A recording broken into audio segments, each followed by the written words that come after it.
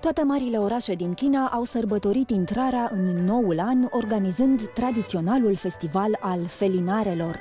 Nu au lipsit dansurile dragonilor, acrobațiile sau paradele și, mai ales, personajele de bază.